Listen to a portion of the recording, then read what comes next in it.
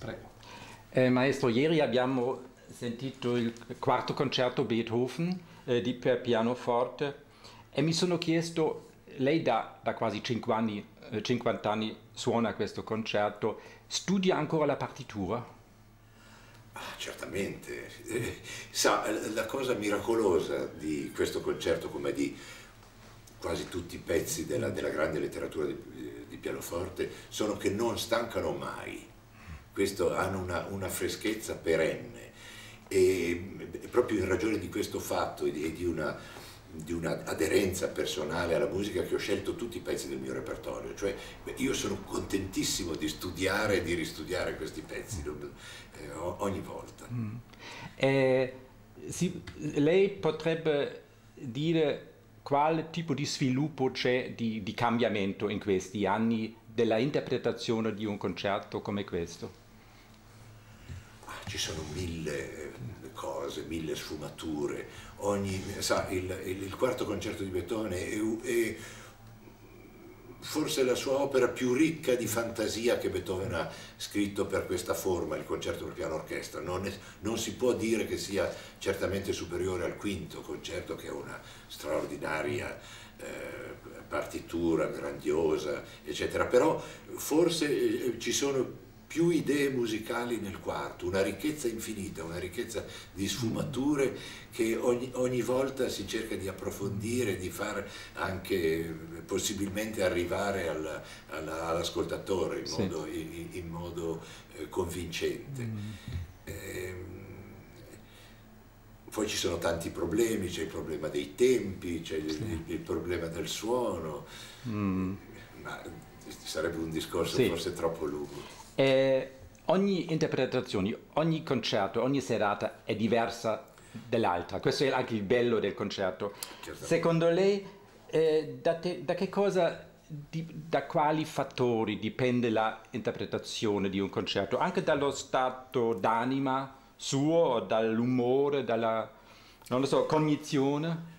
Certamente. Eh, si dovrebbe poter esplorare in se stessi perfino il proprio inconscio, perché anche l'inconscio partecipa al concerto e per questo possono eh, capitare delle cose abbastanza curiose, mm. eh, sorprendenti e, e strane. Ci possono essere delle serate in cui ci si sente perfettamente preparati, perfettamente di buon umore, eppure il concerto magari ha una, non è soddisfacente come, come potrebbe essere e ci sono delle serate in cui magari uno si, si sente non, non sente eh, una grandissima voglia di suonare o così mm. e poi nel concerto invece capita qualcosa di assolutamente inaspettato.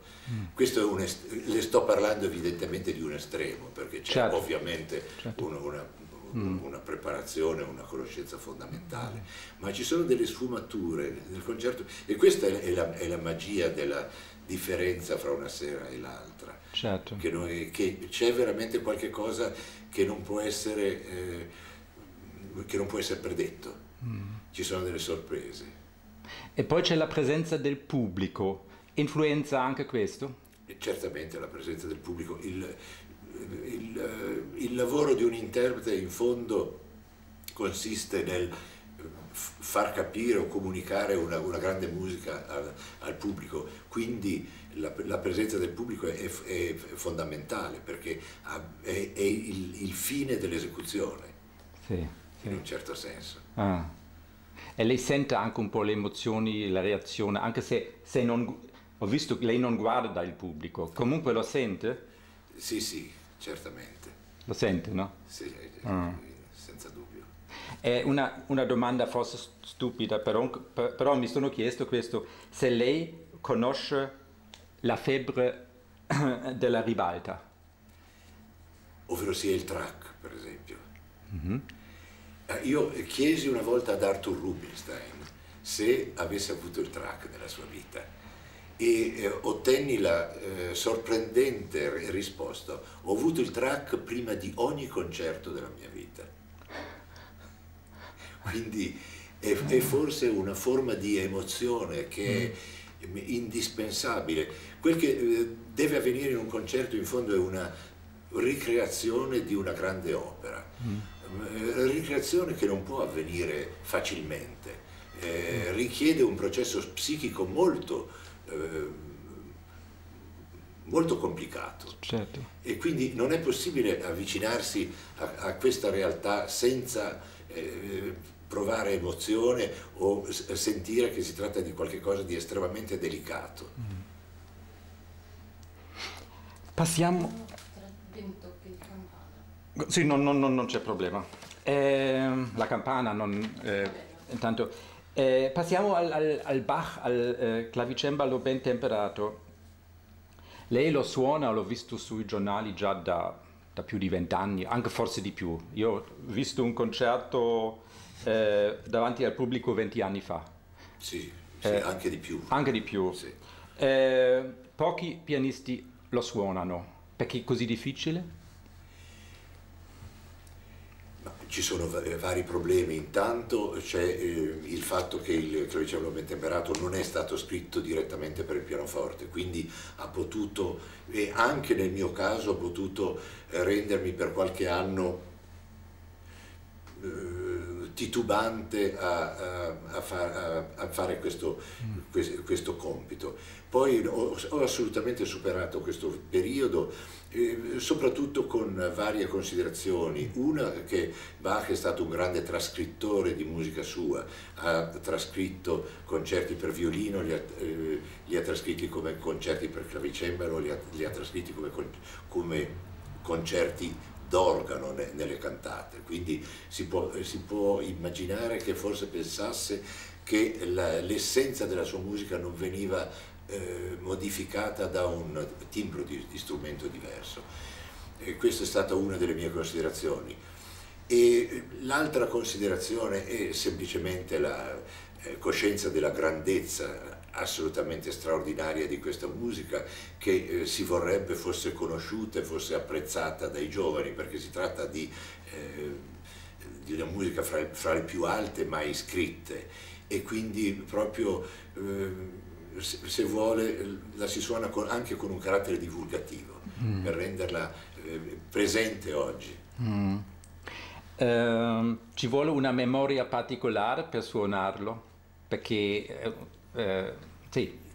Sì, io l'ho, suonato eh, sia in, eh, sia in, concerto che in disco senza, eh, senza musica, quindi assolutamente memoria, con, un'esperienza che ho fatto anche per musica contemporanea, per esempio la seconda sonata di Boulez mm. l'ho suonata sia con la musica sia senza musica mm-hmm. e indubbiamente c'è una libertà maggiore e senza spartito. Mm. l'opera ovviamente è molto difficile, molto impegnativa, il, il solo fatto della scrittura polifonica eh, rende, la, eh, rende l'esecuzione eh, particolarmente impegnativa perché eh, una fuga in una fuga a quattro voci, ogni, per così dire, ogni dito della mano è molto occupato sì. a eh, reali, realizzare questa, questa complessità. Mm.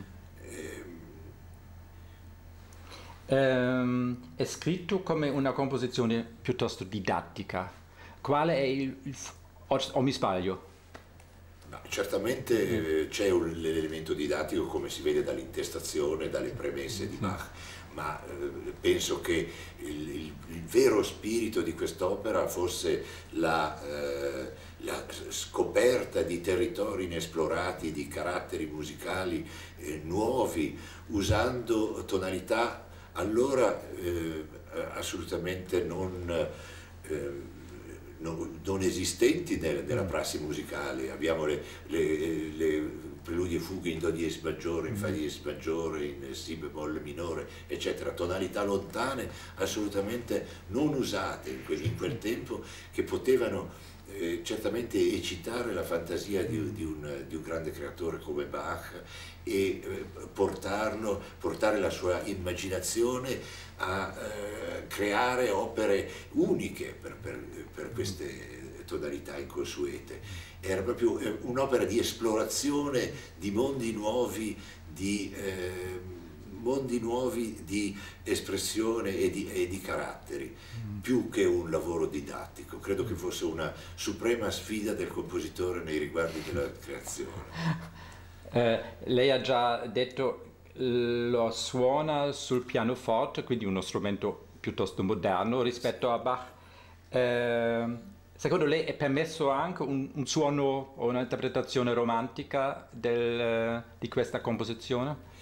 Ma, sa, io sono, eh, trovo estremamente, estremamente schematica mm. l'uso dei termini classico-romantico, con i quali noi cataloghiamo e mm. definiamo in modo molto impreciso un periodo storico piuttosto che un altro.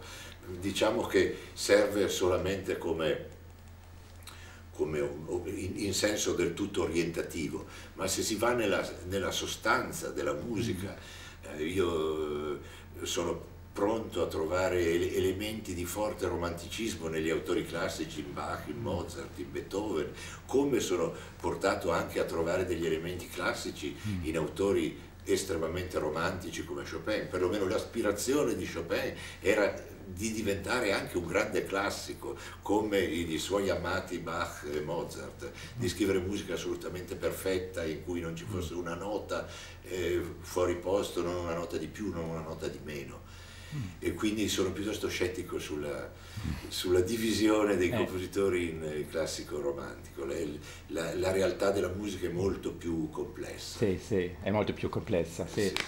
Eh, come eh, lei si prepara per un concerto? C'è il giorno del concerto, il pomeriggio, ci sono dei, dei riti, delle abitudini sue? Sì, suono generalmente tutto il programma eh, prima, mm. prima, del concerto, un po' la mattina, un po' il pomeriggio, mm. e, così, e poi penso anche senza suonare alla musica che, mm. mm. che verrà eseguita. Sì. Um, lei ha cominciato la sua carriera internazionale dopo questo famoso concorso uh, Chopin. Chopin. Uh, aveva paura lei di essere per sempre uno spe specialista di Chopin? Eh, francamente dopo il, il, concorso ebbi un po' paura, di, eh, una, una, paura de, veramente della quale che oggi mi fa abbastanza sorridere, mm -hmm. perché più, uno dei più grandi privilegi di un pianista è di suonare la musica meravigliosa di Chopin, mm. francamente. Però allora eh, naturalmente desideravo ampliare il mio repertorio, desideravo eh, conoscere meglio e suonare eh, la, la, grande musica tedesca, la musica di, di Beethoven, di Schumann, non mm. essere confinato alla musica eh, di, Chopin, sicché questo spiega anche le mie scelte per alcuni anni, eh, scelte magari non, fa, non sì. facili, di, di, non andare assolutamente secondo la corrente, ma di andare un po' contro la corrente. Sì. Quindi lei ha da 16 anni ha fatto dei concerti, quindi era com- conosciuto a un pubblico. Ha vissuto una infanzia normale lei? Eh, sì, senz'altro, sì, sì. Un, un, un'infanzia in cui la musica ha avuto un ruolo eh, molto forte, sicuramente, fin dall'inizio, ma esempio la frequentazione scolastica era, era normale fino a, una, fino a, una, certa età, poi eh, frequentai le, le, scuole piuttosto privatamente, ma insomma andai avanti. Mi iscrissi all'università ma non proseguì gli studi. Ah sì. Ecco, questo sì. sì. Quindi non è che, che un, uno come lei si doveva un po' ritirare dal mondo per occuparsi quasi esclusivamente di musica? No, beh nel, nel, corso del, nel, nel, corso della mia vita ci sono stati momenti così, certamente. Mm-hmm. Momenti di studio in realtà ci sono sempre, anche perché per esempio adesso io non faccio molti concerti all'anno, non, eh, certamente non supero il numero di 40 concerti all'anno. Questo mi permette di avere dei, dei periodi anche relativamente lunghi di studio, di eh, meditazione, può chiamarli come, come, come desidera, o di preparazione. Mi permette di fare eh, un, numero abbastanza grande di, di concerti diversi, di, di, musiche diverse nel, nel corso del, del, della, della, stessa stagione, per esempio, ah. cosa che mi, eh, mi dà molto piacere. Non, non, potrei sopportare di andare avanti una stagione a suonare un solo programma, mi sarebbe sì. per me mm. inconcepibile. E se, se, lei non si occupa di musica, ci sono altre cose di cui si occupa, eh, di, di, con cui si diverte a casa, leggendo? Eh? Sì, sono interessato praticamente a tutte le arti, quindi alle arti visive, alla letteratura mm. e, e, poi ci sono gli amici e poi eh, per quel che riguarda lo sport mi interessa solamente il, il mare con questo lei sa tutto di me. Niente calcio. No, per carità. eh, negli anni eh, 70 lei si è impegnato per la Neue Musik, per la musica contemporanea, insieme con eh, Luigi Nono e Claudio Abbado. Forse, come abbiamo detto, era un periodo molto favorevole. Eh, chiedo, anche se ne abbiamo già parlato, eh, la musica nuova è sempre valida oggi per i concerti, per i programmi di concerti? Deve essere valido? Guardi, eh, succede questo, che la musica dei grandi compositori, per esempio della seconda metà del mm. Novecento, ha una posizione, secondo me, molto inferiore a quella che dovrebbe avere nei, nei programmi normali dei concerti. Dovrebbe essere una presenza costante e ehm, quindi dovrebbe esserci da parte del pubblico una sensibilità molto maggiore per le esperienze artistiche mm. eh, di oggi. E, ehm, quindi eh, come si può eh, spiegare questo? Si spiega pensando all'enorme sviluppo del linguaggio musicale del Novecento che ha reso abbastanza difficile per il pubblico di seguirlo e una, una certa re, relativa mancanza di esecuzioni. Naturalmente ci sono problemi molto, molto forti, c'è il problema del numero delle prove mm. con l'orchestra, però eh, c'è il desiderio di una reazione a questo stato di cose. E, nel mio assoluto piccolo ho, cercato anche di eh, immaginare e di, fare, eh, di fare organizzare delle, delle serie di concerti in cui al, ai classici eh, venissero contrapposti dei momenti significativi della musica d'oggi. Mm-hmm. Questo ho fatto in varie città, ho cominciato anni fa a Salisburgo poi eh, c'è stata una grande serie a New York, a Tokyo e attualmente ci sono a Vienna per esempio e attualmente ci sono due serie eh, a Milano e a mm. Parigi mm. in questo senso è un, è un, diciamo che un piccolissimo contributo mio una, uh, verso un allargamento del repertorio, mm. verso, verso, il pubblico tradizionale, che dovrebbe avere una coscienza maggiore della mm. grandezza di grandi maestri della, della composizione come Boulez, Stockhausen, Nono, eh, Berio, Ligeti, eccetera. In questo concerto che lei ha sentito, eh, eh, Riccardo Chailly con la sua magnifica orchestra del Gewandhaus ha eseguito oltre all'italiana di Mendelssohn anche un lavoro di Luigi Nono, composizione numero uno per orchestra. Era un, un lavoro che si esegue mol, molto raramente e che ha ottenuto un bellissimo eh, successo col pubblico in una splendida esecuzione. E fra qualche giorno ci saranno a Parigi e a, e a Milano due concerti in cui vengono, viene contrapposta eh, la musica di Chopin a tre composizioni di nono di vari mm. periodi. Una è Sofferte onde serene, un pezzo che per pianoforte nastro che Nono scrisse per me molti, molti anni fa, un pezzo di grande eh, intensità poetica. Poi vi è un uh, pezzo per voce sola di Amila Bupascià che verrà cantato da Barbara Hennigan, molto bene e che dà un'idea della maestria di Nono nel trattare la voce umana e in particolare la voce femminile. E poi eh, ci sarà l'esecuzione del pezzo A Florestes come Micea de Vita, un, un, lungo, un lungo brano di circa 40 minuti dedicato al Fronte Nazionale di Liberazione del Vietnam e di cui io sentii la prima esecuzione nel 66 a Venezia, alla Fenice di Venezia e, e questo è stato il mio primo incontro con Nono, un, un, incontro che suscitò in me uno straordinario entusiasmo per la sua musica che trovai assolutamente anticonvenzionale, mm. ricca di, eh, ricca di espressione, eh, straordinariamente nuova, eh, appunto orig originale. Forte e da lì cominciò, cominciò, anche la conoscenza sua e quindi una relazione di, di amicizia che, mm. eh, si, si, eh, che, continuò nel tempo e che portò anche Nono a scrivere dei pezzi per, utilizzando il pianoforte in, in seguito. Sì, sì, questo l'ho letto. Voi avevate anche eh, insieme eh, certe posizioni politiche di sinistra e lei per esempio ha suonato anche in una fabbrica? In realtà io ho suonato in una fabbrica prima di, di, di conoscere Nono, prima di avere alcuna opinione politica perché quindi non, non c'entra assolutamente niente. Ah, non era un impegno politico questo concerto? Del, no, non era un impegno, era un, era un, momento di solidarietà verso una piccola fabbrica nei pressi di Genova ah. che era in, in, in, protesta e l'orchestra locale mi invitò a, a suonare con loro. Ah. Ma, eh, Ma, comunque lei era favorevole anche al movimento contro la uh, guerra in Vietnam, quindi diciamo della favorevole alla situazione del 68.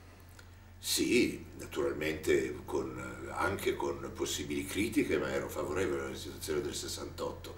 Ma lei, lei, lei mi dice se c'era una comunanza mm. di idee con, con, con, Nono, sicuramente sì, sia pure nelle diversità personali, perché Nono era iscritto al Partito Comunista, aveva una forma molto rigorosa di eh, visione politica in quegli anni e io eh, ero propenso verso, eh, verso il, un socialismo che comprendesse assolutamente la democrazia, quindi mi avvicinai anche al eh, Partito Comunista Italiano solamente, pur non avendo mai avuto la tessera, ma eh, solamente quando prese delle posizioni chiaramente democratiche, condannò la... Eh, condannò l'invasione sovietica della Cecoslovacchia mm. e praticamente prese il, il, cammino del socialismo attraverso la democrazia. Sì, questo cosiddetto questo, eurocomunismo è stato chiamato forse. Ecco, se, eh, sì.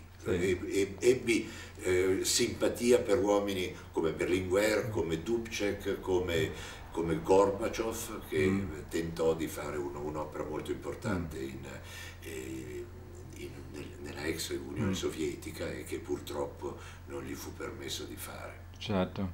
Lei considera sempre un cittadino politico oggi, anche eh, guardando la situazione eh, un po' difficile politica in Italia?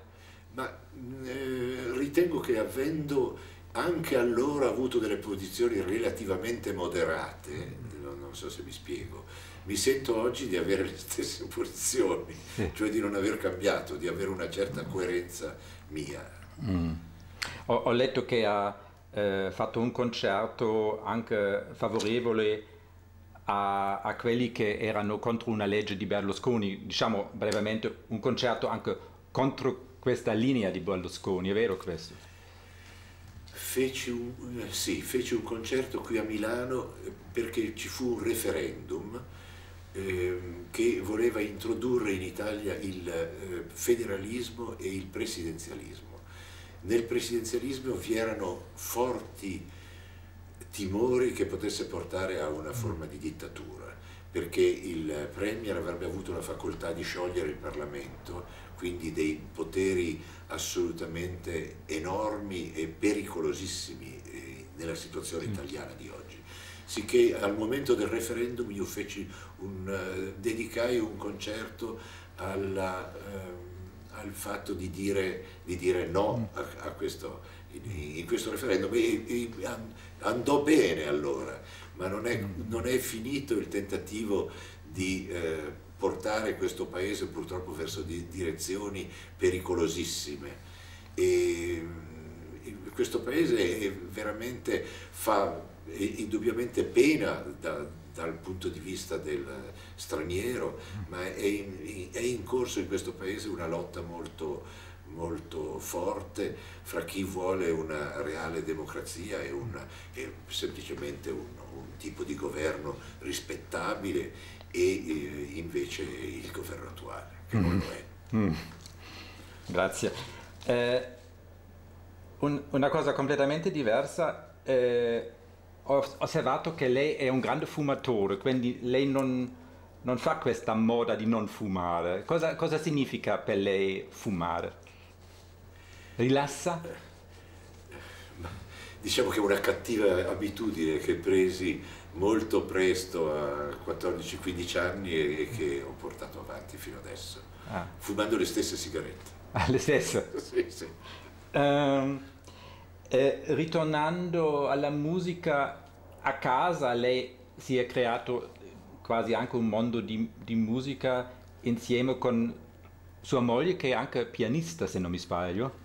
Eh, mia, mia, moglie capisce molto bene la musica, era una, una, bravissima pianista, non l'ho mai sentita suonare se non in disco. Addirittura. ma, ma, è una persona sensibilissima e, e di grande intuito musicale. Non ha potuto costringere lei di suonare per lei? No, non sono riuscito. eh, poi c'è eh, suo figlio Davide con cui ha fatto anche concerti insieme. E, e, mio figlio Daniele. Eh, Daniele, Daniele sì. Sì, sì. sì eh, facciamo un concerto insieme a Firenze, eh, direttore era Zubin Meta che ci invitò a suonare un, un, concerto per piano orchestra diverso. Io suonai un concerto di Mozart e Daniele suonò il concerto di Ravel. Ah. E fu un, un'occasione molto simpatica. Sì. Lei, lei, è anche in un certo senso stato insegnante eh, di Assolut- lui? Assolutamente no. no. Daniele ebbe dei, dei buoni insegnanti. Eh, non credo di essere dotato, fra l'altro, per, per insegnare. Ah. Non credo che sia la mia... E ha imparato lei qualcosa in questa collaborazione con lui? Perché lui non è solo pianista, ma è anche compositore e direttore d'orchestra. Dunque, eh, parlando con Daniele abbiamo uno scambio eh, magnifico perché ci capiamo perfettamente, perché abbiamo dei gusti simili eh. e perché eh, lui veramente capisce molto bene la musica, quindi c'è un, uno scambio eh, perfetto, allo stesso livello. Ah sì? Sì. Um, poi volevo eh, alla fine fare, fare una carriera oggi una carriera di un solista, di un pianista per esempio, è diverso di, rispetto a 50 anni fa? mi sembra che si siano accentuate eh, certe, eh, certe, componenti che secondo me non sono molto positive eh, nel, nella carriera dei giovani, eh, dei giovani pianisti o eh, forse anche dei giovani direttori, ossia si è accentuata mh, mm, riguardo ad alcuni una grande difficoltà di fare carriera, una grande difficoltà di trovare degli impegni che consentano naturalmente di migliorare, di fare esperienze, eccetera. E poi si è, si è accentuata invece l'estrema facilità con cui dei giovani indubbiamente dotati, ma sono portati alle estreme vette del successo in, una, in un modo assolutamente rapidissimo. E sia l'una cosa che l'altra, eh, a, a, mio avviso, eh, Naturalmente i giovani poi vivranno con, que con queste caratteristiche, dovranno eh, fare la, la, la, propria vita così, però eh, questo, questo, modo di tutto o niente secondo me è contro a quello sviluppo graduale del musicista che sarebbe la cosa essenziale mm. e, e, e, e, migliore, cioè una, un, sarebbe molto bene che un giovane avesse subito impegni senza tutte le difficoltà che ci sono, mm. impegni però che eh, il, il, suo successo si estendesse un po' alla volta a seconda della sua maturazione musicale. Sì, sì. Eh, il marketing è diventato più importante per la carriera? Probabilmente sì. Sì, no? Sì, sì, sì. Eh, se vediamo una, eh, un musicista come Lang Lang, che è accompagnato dal primo momento con una macchina di marketing incredibile. Sì, io non ho mai sentito Lang Lang in, eh, in concerto, quindi mi è difficile mm. esprimere un'opinione. Certamente si è riversato su questo giovane tutto, mm, tutto l'entusiasmo per il suo paese, per la Cina. Sì. Eh, evidentemente questo è il fenomeno. C'è, c'è la categoria, categoria, della star, cioè eh, anche la stampa subito deve scoprire sì, e offrire parola, una questa, star. Questa parola star è veramente spaventosa, non bisognerebbe usarla in termini artistici, è una cosa quasi insopportabile. Quindi lei non rispetta se la stampa e lo scrive naturalmente, giustamente, lei è una star, lei non, non rispetta. Io non, sono, non, posso essere contento perché non mi piace questo termine. Ecco. Sì, sì. Uh, no, è, è, un, è una... Um, è una